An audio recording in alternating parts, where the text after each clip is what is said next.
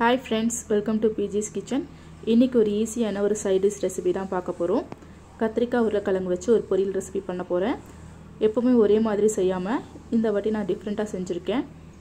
வாங்க அது எப்படி செய்கிறதுன்னு பார்க்கலாம்.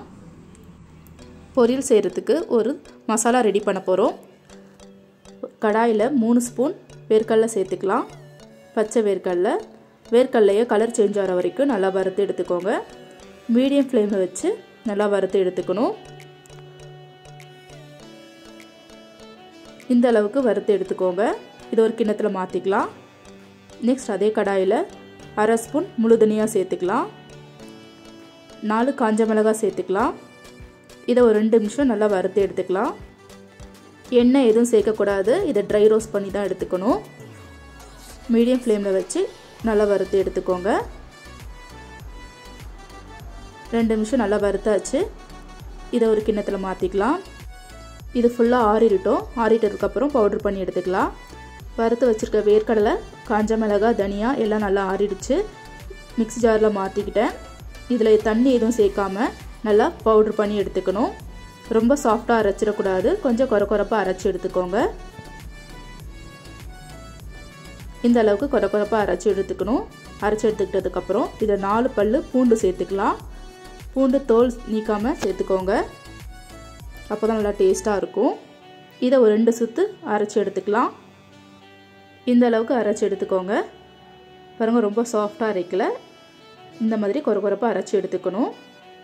பொரியல் செய்கிறதுக்கு அஞ்சு கத்திரிக்காய் எடுத்திருக்கேன். ஒரு உருளைக்கிழங்கு எடுத்திருக்கேன். கத்திரிக்காய் உருளைக்கிழங்கு ரெண்டையும் க்ளீன் பண்ணிவிட்டு வாஷ் பண்ணி நீட் நீட்டாக கட் பண்ணி எடுத்துக்கலாம். தாளிக்கிறதுக்கு ஒரு பெரிய வெங்காயத்தை இந்த மாதிரி நீட் நீட்டாக கட் பண்ணி எடுத்துக்கோங்க. இந்த மாதிரி ஸ்லைஸ் ஸ்லைஸாக கட் பண்ணி எடுத்துக்கணும். கத்திரிக்காய் உருளைக்கிழங்கு ரெண்டையும் கட் பண்ணி எடுத்துக்கிட்டேன். இதில் மாதிரி நீட் நீட்டாக கட் பண்ணி எடுத்துக்கோங்க. காய் கருத்து போகாமல் இருக்கிறதுக்காக தண்ணியில் போட்டு வச்சுருக்கேன். நெக்ஸ்ட் தாளிச்சிடலாம். ஸ்டவ் ஆன் பண்ணி கடாய் வச்சிடலாம். கடாயில் தாளிக்கிறதுக்கு மூணு ஸ்பூன் எண்ணெய் சேர்த்துக்கலாம். எண்ணெய் நல்லா காஞ்சிறதுக்கப்புறம் அரை ஸ்பூன் சோம்பு சேர்த்துக்கலாம்.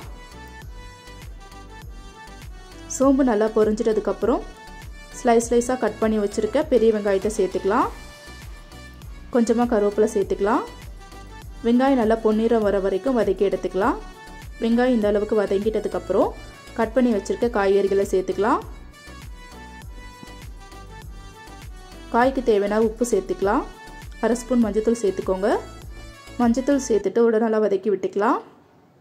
காய்கறி வேகிறதுக்காக அஞ்சுலேருந்து ஏழு நிமிஷம் மூடி போட்டு வச்சிடலாம். மீடியம் ஃப்ளேமில் வச்சு காய்கறியை வேக வச்சு எடுத்துக்கலாம். அப்பப்போ ஒரு இடம் நல்லா மிக்ஸ் பண்ணி விட்டுக்கோங்க. அடிப்பிடிக்காமல் இருக்கிறதுக்காக ஏழு நிமிஷம் ஆயிடுச்சு. ஓப்பன் பண்ணி பார்க்கலாம். பாருங்கள் காய்கறி நல்லா வெந்துருச்சு. தண்ணி எதுவும் சேர்க்க வேணாம். அந்த எண்ணெயிலே காய்கறி நல்லா வெந்துடும்